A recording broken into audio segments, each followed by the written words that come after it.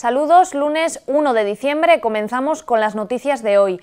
Casi 400 profesores de la Politécnica de Valencia han asistido hoy a una jornada de la ANECA en la que se han dado a conocer los cambios que se incorporarán en la normativa de acreditación del profesorado. La conferencia ha sido impartida por el director de la ANECA, quien ha estado acompañado del rector Francisco Mora. El director de la ANECA, la Agencia Nacional de Evaluación de la Calidad y Acreditación, ha presentado en la Universidad Politécnica de Valencia los cambios que se están preparando en la normativa de acreditación del profesorado.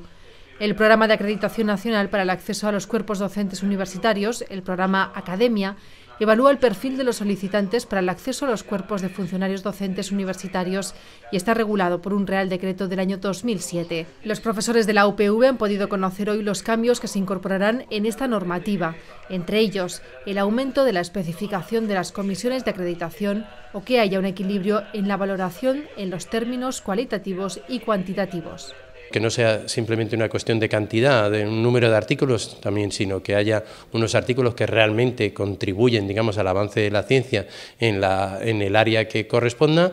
Y luego, por otra parte, también, eh, digamos, dotar a todo el proceso de una mayor simplicidad, de una mayor garantía jurídica, ah, de tal manera que, bueno, pues eh, en definitiva los solicitantes eh, sepan claramente su contexto y sepan a qué atenerse cuando se enfrentan a la acreditación del profesorado.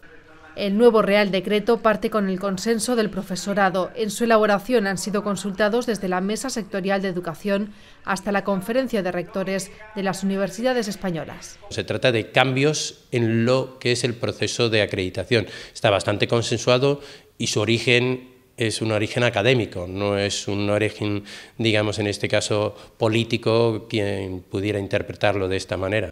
La Agencia Nacional de Evaluación de la Calidad y Acreditación es una fundación estatal que tiene como objetivo contribuir a la mejora de la calidad del sistema de educación superior mediante la evaluación, certificación y acreditación de enseñanzas, profesorado e instituciones.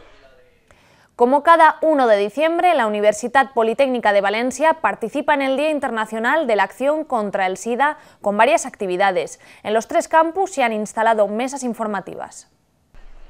Bajo el título Transmite información, transmite vida, la Universidad Politécnica de Valencia ha elaborado un programa con múltiples actividades de concienciación en este 1 de diciembre, Día Internacional de la Acción contra el SIDA. Según datos de la OMS, el SIDA es la quinta enfermedad que más números de muertes causa al año. Solo en 2013 más de 2 millones de personas contrajeron el virus, 240.000 de ellas menores de 18 años. S'ha notat i des de Sanitat mos ho estan dient des de la Conselleria de Sanitat que s'ha donat una, un relaxament no, de tots els comportaments sexuals dels jovens, que els jovens coneixen poc i aquesta relaxació està fent que estiga augmentant moltíssim tot el percentatge d'enfermedades de transmissió sexual a nivell de la comunitat valenciana. Hoy en día, afortunadamente, ya sí que podemos hablar de una calidad de vida de las personas con VIH, de un, podemos hablar de VIH y envejecimiento, y, y, el SIDA, pues afortunadamente lo tenemos relacionado con una fase terminal del VIH. Y bueno, pues esa es la labor que hacemos en, en Abacos. En colaboración con Cruz Roja, Calsicova, Abacosh y el Consell de Lloves de Gandía, se ha dado hoy sobre todo mucha información. En el Ágora del campus de Vera se han repartido preservativos y Cruz Roja ha organizado la SIDA no da y el tablero del SIDA cómo saber si eres seropositivo mediante una serie de, talleres y dinámicas muy sencillas también hacemos que piensen un poco, tenemos un, como una dinámica que tienen que elegir eh, unas tarjetitas y tienen que colgarlas en el lado izquierdo si de verdad creen que es una eh, acción o actitud que puede eh, contagiar SIDA y en el, otro, en el otro lado pues si es una actitud que no puede contagiar SIDA. Entonces también hacerles primero reflexionar un poquito y después también hacer reparto de, preservativos y todo, métodos anticonceptivos. En la casa del alumno se han proyectado dos películas relacionadas con el SIDA, Kids y Noches Salvajes. En Gandía y Alcoy también se han realizado actividades de información. En el marco del Día contra el SIDA podemos ver en el Hall Solidario de Rectorado la exposición de carteles retrospectivos sobre el Día del SIDA. Está organizada por el Área de Actividades Culturales de la UPV y puede visitarse hasta el próximo viernes. Con unas imágenes de lo que podemos ver nos despedimos, no sin antes recordaros que a continuación nos dejamos con la agenda universitaria para los próximos días. Hasta mañana, adiós.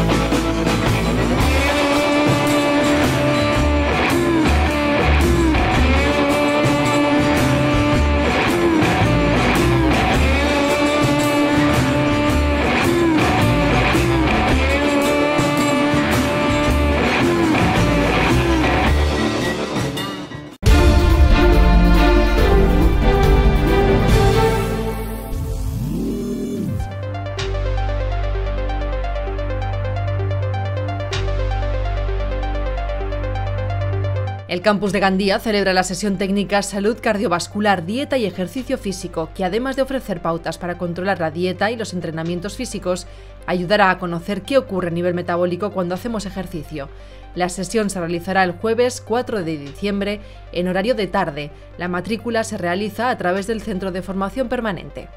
¿Sabías que la Junta de Paz, la Junta de PDI y el Comité de Empresa se renuevan cada cuatro años mediante elecciones sindicales? Las elecciones se celebrarán el 4 de diciembre, en horario de 9 de la mañana a 8 de la tarde ininterrumpidamente en los campus de Vera, Alcoy y Gandía. La Fundación Eduardo Torroja organiza cada dos años los premios Eduardo Torroja a los proyectos fin de carrera de una universidad politécnica española. En esta edición se concederán alumnos de la Politécnica de Valencia. Serán objeto de los premios trabajos realizados en la Escuela de Arquitectura y en la Escuela de Ingenieros de Caminos, Canales y Puertos. Cada escuela realizará la preselección de 15 proyectos candidatos antes de finalizar el año 2014.